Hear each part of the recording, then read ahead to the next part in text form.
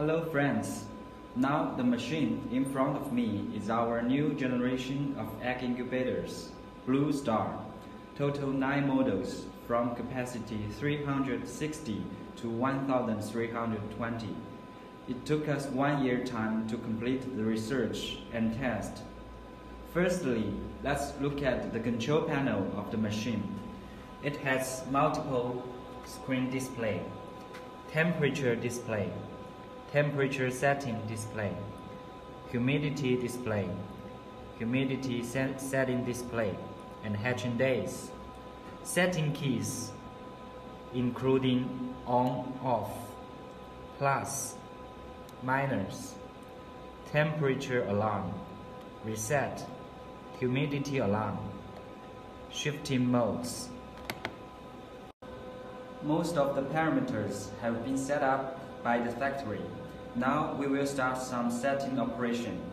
Most users do not know how to set machine parameters and temperature high and low limit values and other parameters. For example, I will show you how to set LS temperature lower limit set. Press set key and hold for 3 seconds.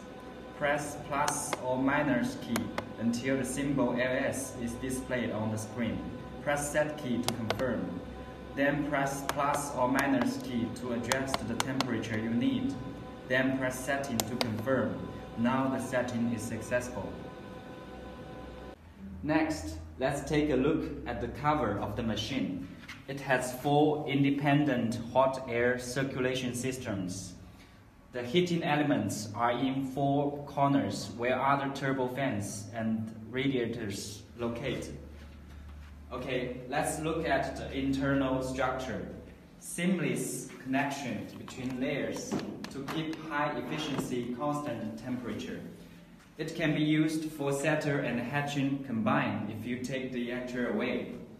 The machine is suitable for two interchangeable egg trays. You can adjust the different hatching capacity for chicken, ducks, geese, and quails freely for each layers with one button start. You can add water here. The new machine is light in weight and small in size. Lower power and energy saving eliminates traditional big capacity incubators defects.